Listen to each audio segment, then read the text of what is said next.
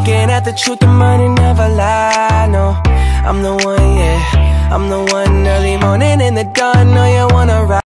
Oi, gente, tudo bom com vocês? Bom, eu tô aqui hoje para poder fazer um vídeo para vocês dando dicas de como você gastar pouco em Orlando, né? Você tá com pouco dinheiro e tá querendo ainda assim viajar para Orlando, surgiu oportunidade, então eu tô aqui para te dar dicas de como fazer uma viagem econômica para Orlando. Já fui para lá duas vezes e das duas vezes foi com muita economia.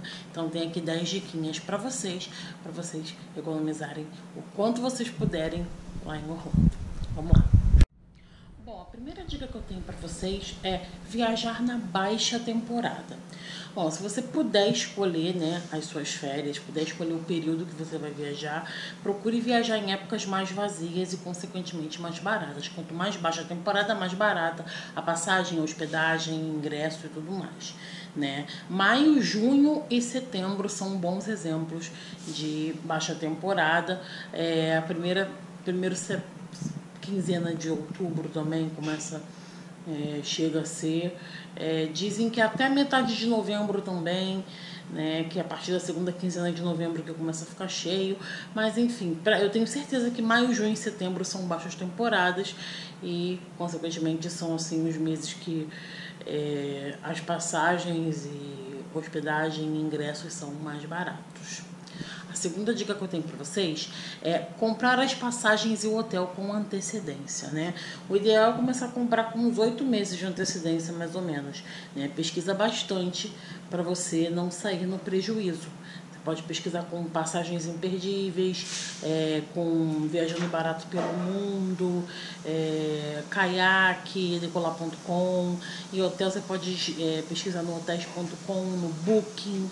Eu sempre é, reservo os meus hotéis pelo Booking, pago lá no alto do check-in. É, e sempre pesquiso minhas passagens já nos sites das companhias aéreas, também no Passagens Imperdíveis e tudo mais. Terceira dica que eu tenho para vocês é compre os ingressos aqui no Brasil.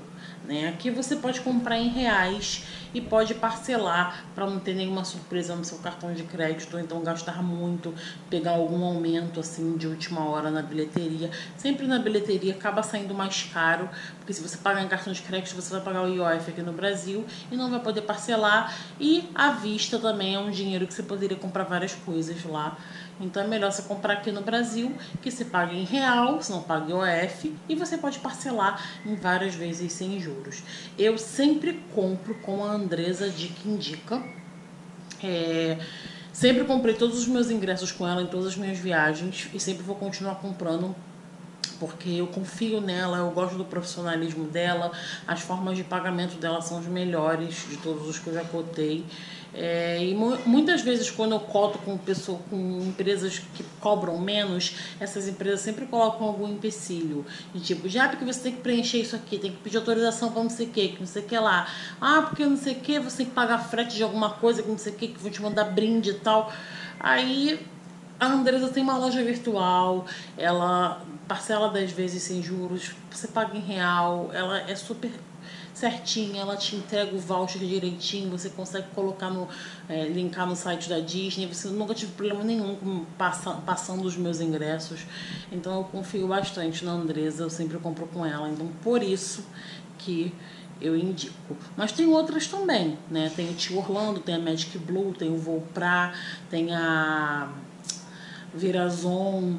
Então, tem várias empresas assim que, que Orlando Tickets Online também, mas Orlando Tickets Online é lá de Orlando. Então você pode pagar aqui ou pode pagar lá também. É, mas enfim, são várias. São várias as empresas que você pode é, cotar e o que for melhor para o seu bolso você né, fecha. Né? Eu gosto da Andresa, mas você pode fechar com qualquer outra é, pessoa quarta dica é procure dar preferência a hotéis fora dos complexos da Disney ou da Universal. Né? Você ficar na região da International Drive ou então na região do, de Kissimmee, né? que tem hotéis mais baratos e você não precisa ficar pagando muito caro. Óbvio que ficar dentro da Disney, dentro da Universal, magia é diferente, né, gente? Porque você fica ali imerso o tempo inteiro, é principalmente na Disney, mas é mais caro. Então, se você quiser fazer uma viagem econômica, eu recomendo vocês ficarem fora desses complexos, porque a diferença é absurda de, de tarifa. Né? Eu sempre fico no Monumental Movie Land, que fica na International Drive, numa ótima localização tipo 20, 30 minutos de caminhada da Universal. De carro são 10 minutos, 5 minutos, é muito perto e é uma localização ótima, vai ficar em frente aos hotéis novos da Universal. Tem a Greens perto, tem é, Almarte quase do lado de carro, são 10 minutos também. Tem, fica perto de tudo, bem acessível e a tarifa dele é muito boa. É, tem os Rosen Inns também, são três Rosen Inns do International Drive. O Closest to Universal, que fica quase do lado do Movieland. O International, que fica perto do McDonald's, o maior McDonald's do mundo, que é onde a maioria dos brasileiros ficam. E o Point Orlando, né? O, perto do Point Orlando, que fica mais lá para baixo é mais pro fim da International Drive, mas ele é um pouquinho mais caro do que os outros dois. Mas ele também fica numa boa localização, fica em frente àquela casa de cabeça para baixo, a Wonderworks. E tem também o Sansol, muita gente fala muito bem desse Sansol também, é, ele também é bem barato. E na região de Kissimmee, todo mundo fica no Celebration Suites. Ele fica perto de Celebration e todo mundo fala que é bom, né? Mas eu nunca experimentei porque Kissimmee para mim é muito longe e eu não alugo carro. Então, eu gosto de ficar na área da International Drive que é bem acessível, tem o iTrolley que você pode andar para um lado para o outro e eu prefiro. Falando em aluguel de carro, a quinta dica vem aí, que é para você dar preferência a Uber ou a ônibus, né? Porque o aluguel de carro, ele é muito caro. Muita gente fala que em Orlando você não consegue se virar sem carro, mas é mentira. Eu já desmistifiquei várias vezes isso. É, eu vou, inclusive, fazer um vídeo falando que dá para se virar, mostrando que dá para se virar sem sem carro em Orlando. Aguardem que esse vídeo vai sair. E eu acho o aluguel de carro muito caro. E eu também não dirijo, mesmo se eu dirigisse, eu acho que eu não alugaria carro, né? Porque é muito caro. É, então, assim, a contrapartida é que o carro você tem mais conforto, tem mais comodidade, pode andar de um lado para o outro, mas você paga mais caro, porque você paga combustível, você paga pedágio, você paga estacionamento dos parques que não são baratos, é tipo 25 dólares por parque, são vários parques. Então, apesar de todo o conforto e comodidade de você, além do aluguel que já é caro, você paga todas essas coisas extras, e caso tenha algum acidente, alguma coisa e tal, então, tipo, é muita responsabilidade. E, então, mesmo se eu dirigisse, eu não alugaria carro nos Estados Unidos, porque eu acho para mim mais cômodo, né? Contratar um motorista brasileiro, né? Eu conheço o Gustavo do GG, GG Business Service. Eu já falei dele várias vezes. Eu vou deixar o Instagram dele aqui embaixo se você quiser cotar. Ele é brasileiro, então se você não fala nada de inglês é melhor porque ele, né, é brasileiro e ele vai te dar toda a assessoria necessária. É ele cobra um preço super justo também, tipo, preço bem baixo mesmo, nível Uber. Então ele não é safado que fica tipo cobrando mais do que, do que deveria, sabe, para poder ganhar em cima das pessoas. Ele é uma pessoa justa, uma pessoa honesta, então, tipo, eu contratei ele e eu recomendo, porque eu recomendo que é certo, né, gente? A gente não pode mentir falar que tipo, ah, fulano é bom, fulano ciclano é bom, e a pessoa, na verdade, né, te cobrar um absurdo. Eu fiquei muito sem chão quando o Maurício foi embora de Orlando, ele se mudou para Londres, hoje ele tá morando em Londres, e ele era meu motorista, e eu fiquei muito arrasada porque ele, ele saiu ele foi embora e ele me recomendou o Gustavo, que é amigo dele, e ele e a esposa dele, né, são maravilhosos, foram maravilhosos comigo.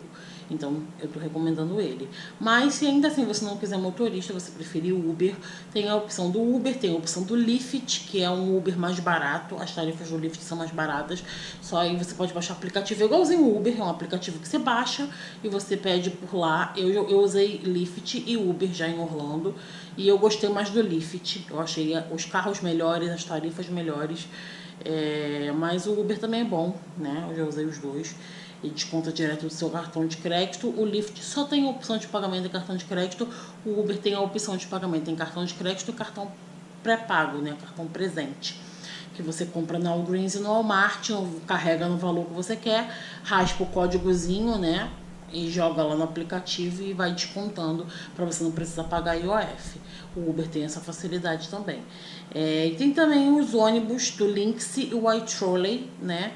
O Lynx ele pode deixar no aeroporto, pode deixar no, nos parques da Disney, deixa na Universal, assim, eu não, eu não sei andar de Lynx em Orlando, eu já tentei aprender, mas eu achei bem complicado, apesar de não ser complicado, eu me enrolei, eu não sei porque que eu não consigo, não consegue entrar na minha cabeça como andar de, de Lynx, então eu prefiro pagar um pouquinho a mais para pegar um Uber e ainda contratar um motorista.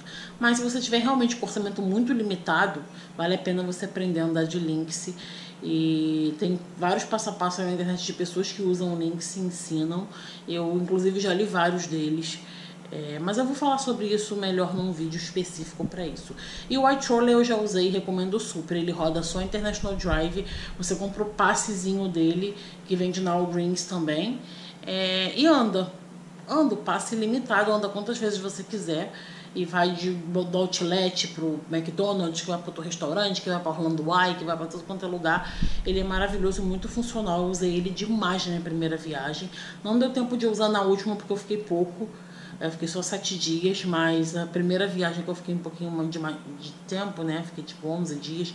Eu usei bastante o White Trolley e eu recomendo muito, porque ele é maravilhoso e super prático dica que eu tenho para vocês são os, os, os, seguros viagens, né? Contratar um seguro viagem, né? Porque vai te livrar de muitas dores de cabeça, é, como doenças, acidentes, extravio de bagagem. Os seguros viagens, eles cobrem tudo isso. Eles cobrem é, caso sua bagagem seja extraviada no aeroporto, seja roubada, sua mala seja quebrada, caso aconteça algum acidente com você, caso aconteça é, sei lá, você fica doente, você fica com dor de garganta, com dor de cabeça, é, sei lá, pega uma virose, tem uma apendicite, qualquer coisa do tipo. É, você liga para o seguro, o seguro te encaminha para o hospital e lá você vai lá, ele te dá toda a assessoria necessária.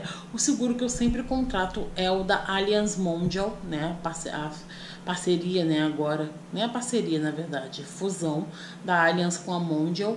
E eu, todas as minhas viagens, contratei esse seguro. Eu sempre pego cupons de desconto ótimo deles. Eu peguei de 30% na minha primeira viagem. Eu peguei de 50% na última viagem que eu fui para Orlando. E nessa agora da Califórnia, eu também consegui uma, um, um cupom de 50%.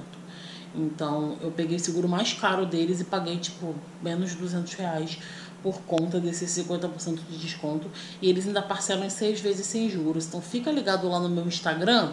Se você não me segue, vou deixar aqui embaixo, que eu tô sempre soltando lá nos meus stories cupom de desconto do da Mondial. Né? Eu não tenho parceria com eles, mas sempre quando eu vejo eu tô soltando para vocês, quando é um desconto significativo, tipo de 30% para cima. Ou então vocês podem seguir a Mondial lá no, no Instagram ou no Facebook, que eles também todo mês soltam cupom de desconto lá. Então, fica aí à vontade. E a próxima dica que eu tenho para vocês, aproveitando que a gente já está aqui, a sétima dica é chip de celular. Né? O Wi-Fi dos parques eu, eu achei ok. Né? Na primeira viagem eu não comprei chip. Eu usei Wi-Fi e eu achei ok. Né? Eu não consegui ficar conectado o dia inteiro. Eu usei porque eu queria no básico, do básico, do básico funciona, mas se você assim é que nem eu, eu gosto de ficar conectado o dia inteiro, falar com todo mundo, fazer story, fazer um monte de coisa, você precisa de um chip e eu recomendo o da EasySim for You, né? Se para você só o Wi-Fi não é suficiente, EasySim for You, porque cara, salvou minha viagem, minha última viagem do ano passado. Foi maravilhoso, gente, sério. Fiquei conectada o tempo todo. Eu nem usava o Wi-Fi do hotel nem dos parques, eu só ficava com ele. Foi maravilhoso chip ilimitado. Comprei, eles, eu tenho parceria com esse Flu, então realmente eu tenho sou cupom para vocês sempre, sempre, sempre solto o cupom lá no Instagram. Me sigam no Instagram porque eu sempre solto, sempre solto cupom de desconto. Eles estão sempre botando 20% de desconto, 15% de desconto, 30% de desconto. Na Black Friday eles deram 40% de desconto no chip. Um chip de dados é maravilhoso se você não vai fazer ligação, você pode fazer ligação pelo WhatsApp. É maravilhoso, gente. O Easy foi é indispensável para mim. Eu achava que não era, mas depois que eu usei, não quero saber de outra coisa.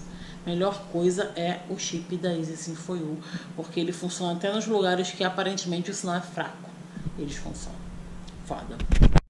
A oitava dica que eu tenho para vocês é para usar e abusar das lojas baratas dos Estados Unidos, como a Walmart, a Dollar Tree, que é a loja de loja de um dólar, a Five Below, que é a loja de 5 dólares, e a Ross, tem também a TJ Maxx, a Marshalls, tipo, todas essas lojas assim de departamento, você tem que. Target também, que é um mercado. Então, use e abuse dessas lojas baratinhas, né? Tanto para comprar coisa para tomar café no hotel, se o seu hotel não tiver café da manhã. Lanchinho para levar para os parques, para você não gastar muito nos parques, já que seu orçamento está limitado água, né? Para comprar água para levar para os parques. E se a sua água acabar nos parques, pede tap water, que é só chegar no, em qualquer restaurante de qualquer parque pedir tap water, please. Eles vão te dar um copo com água e gelo você vai beber. Relaxa, água filtrada do. A água da bica deles é filtrada. Tipo, algumas não tem um gosto muito bom, mas a grande maioria tem. E dá pra, pra não morrer de sede né? Você pode comprar também capa de chuva mais barata, lembrancinha para dar de presente para as pessoas. Sempre tem aquele parente mala que fica de mimimi quando você volta de viagem, falando: "Ai, você não trouxe nada para mim. Ai, meu Deus, você não gosta de mim". Então você vai na loja de um dólar e compra uma caneca para essa pessoa e fala: "Toma, meu amor, para de encher meu saco". Então, tipo, né? É ótimo. Amo essas lojas. Eu sempre compro coisa lá e eu recomendo super para vocês para vocês não gastarem muito. Né? O Outlet também é bom, mas essas lojas são maravilhosas, são melhores que o Outlet. A nona dica, penúltima dica, é o valor menu, que é o menu né, econômico dos fast foods. Os fast foods nos Estados Unidos já são baratos por si só, mas se comparar com o Brasil, né, é, tudo é mais barato, né, gente? Pra falar a verdade. É, principalmente comparando com o Brasil. Mas, enfim, eles são baratos por si só. Só que eles possuem um valor em menu, que é tipo um menu econômico, menu mais barato do que o normal. Né? Onde os itens custam entre 1 e 5 dólares. Você pode comer hambúrguer e nugget por 1 dólar sabe? Então vale a pena você pagar ainda menos, não precisa nem de cupom de desconto, o valor em menu já é, é barato. Então tem no McDonald's, tem no Burger King, tem no Wendy's, o Wendy's, o Wendy's é maravilhoso, gente. O Wendy's tem o 4x4, que são 4 itens por 4 dólares. Você pega uma bebida, um hambúrguer, uma batata frita e um nugget por 4 dólares, um dólar cada um. Cara, o Wendy's é muito gostoso também, é bem melhor que o McDonald's e o Burger King. Tem a Five Guys, tem o Shake Shack, tem vários lugares, gente. Então vale super a pena você usar e abusar do valor em menu, principalmente esses três primeiros que eu falei, que é o McDonald's, o Burger King e o Wendy's. Finalizar, a última dica é cupons de desconto, né? São cupons de desconto, né, gente? É, sabe aquele programa Cupom Mania que tem no, no, Discovery? Então, que as pessoas vão no mercado com um bando de cupom, saem comprando um monte de coisa e não paga nada? Isso realmente existe. Existem sites e aplicativos de cupons que você pode pegar e, e ter desconto nas coisas. É, os aplicativos mais conhecidos é o Retail Minot e o Snip Snap. Eu vou deixar aqui embaixo também. É, que você pode baixar para poder ter desconto nas coisas, né? E você pode também pegar os cupons dos outlets e dos shoppings, né? Os cupons da, da rede Simon, você tem desconto nos outlets, você pega um, tipo um voucher para trocar, trocar por um caderninho de descontos, tanto no outlet quanto no Florida Mall. É só se cadastrar no site da Simon e pedir, né, esse, esse cupom de desconto. Né? Lá tem, você se cadastra, seleciona os outlets, aí tem o voucher para você imprimir e é, levar, para não ter que pagar, porque esse caderninho custa 5 dólares se você não levar esse voucher. Se você levar de graça, você leva o, o, o caderninho para para as lojas e vai comprando e os descontos são maiores ainda, do que mais baratos do que já são, né? Então essa é a minha última dica. Use e abuse também dos cupons de desconto gente, esse foi o vídeo de hoje. Eu espero ter ajudado vocês com dicas econômicas para você não gastar muito em Orlando. Espero que vocês tenham gostado. Um beijo e até o próximo vídeo. Tchau!